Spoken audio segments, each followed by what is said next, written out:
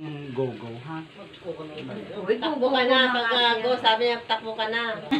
Simula na ba? One, two, three, go. Oo, takbo na. Hi, hello, mabuhay. Magugupit po ako ng pantay na buhok.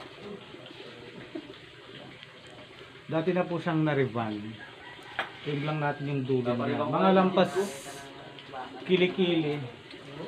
Para matanggal dry. Pero wala pong dry.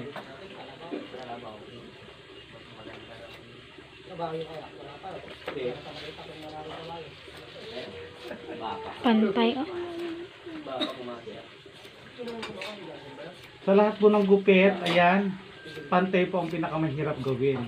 Kaya sa mga layer-layer, V-shape, Kapos po. Para sa nakaribandaan eh.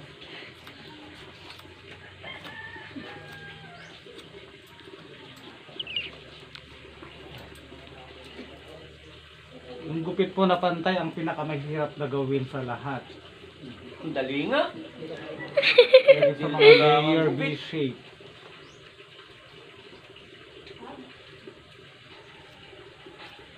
Ayan. Hindi niya na po kailangan mag-section ng buhok. Pero nung mga bago-baguhan pala ako nagugupit, nag-section din naman ako dati. Ari. Dahil matagal na akong nagugupit, yan, ganyan na lang. One way na lang siya. Ano. Dito tayo sa kabila, sa part. Pagod na. Para kahit saan mo daling anggulo yung buhok niya, pantay lang siya. Yan, ganito po siya. Ayan. Comment lang po kayo ha.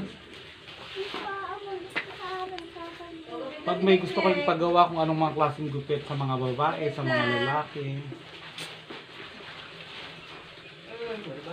Haba pa din. Ayan, ganyan lang siya.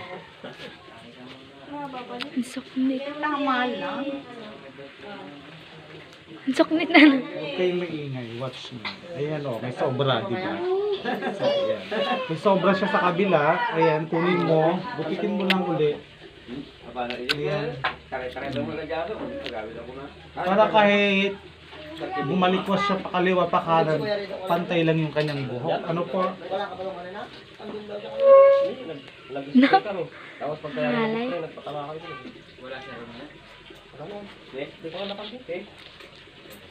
Galing ka sa Quezon Ayan. O, sa kabila naman po tayo sa kanan. Next. Hi, hello, ayan, welcome po sa ating mga ka-viewers dyan sa mga abroad. Yung mga kaibigan natin mga DH dyan, pag uwi ninyo, magparibang kayo magpagupit. Kasi alam mo na, mahal ang bayaran dyan sa ibang bansa. O, dito po ako sa kanan ngayon ha, ganyan siya o. Yan. Basta mo na rin yung ginagupitan mo. Mukha. Talagang mas mahirap pong maggupit ng pantay kaysa yung may mga layer-layer V-shape, mga kung anong style ng mga gupit ng babae. Ayan. oh. Para pagka mag-slide yung kanyang buhok sa kanan, walang chismis, pantay lang talaga siya. Dismiss. So, ayan. Dito na po tayo sa front. Run. Kaharap yun. Nakabektos pa si Jassel.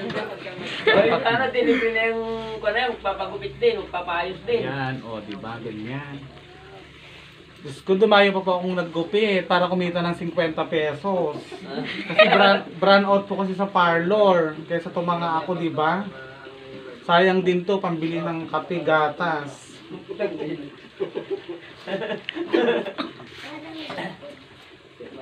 Gupit nga. O, ayan, ganyan. O.